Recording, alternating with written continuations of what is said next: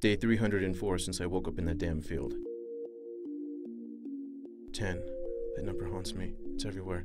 I have 10 fingers, 10 toes. Right now, there are 10 pages left in this journal. Everything I do, I count in 10.